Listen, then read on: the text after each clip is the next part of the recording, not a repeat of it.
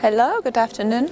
I'm Gabriela Valerianova. I come from Czech Republic. I'm four stars uh, judge, dressage judge, international.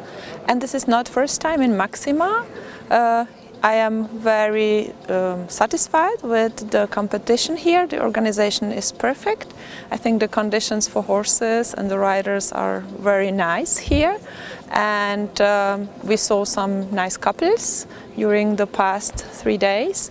So some riders, they have to improve. Uh, we wrote it in the protocols, but some couples are really nice. For the younger rider classes, they should ride more precisely. Not all of them. Some of them are very good in precision. Some of them should improve. And then there were some situations where they should really fight a little bit.